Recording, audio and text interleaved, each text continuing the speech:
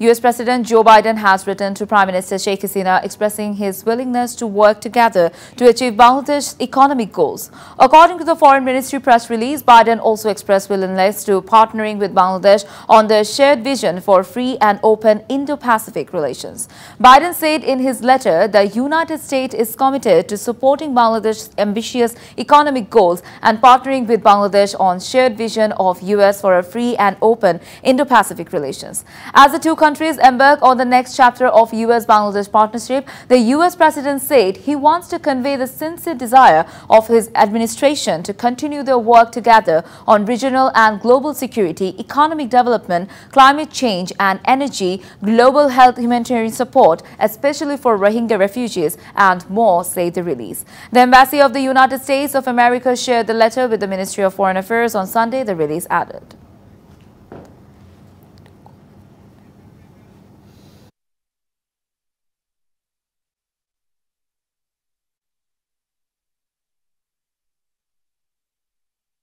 এক মিনিটে নগদ ইসলামিক অ্যাকাউন্ট খুলতে ডায়াল করুন চার ওয়ান সিক্স সেভেন হ্যাশ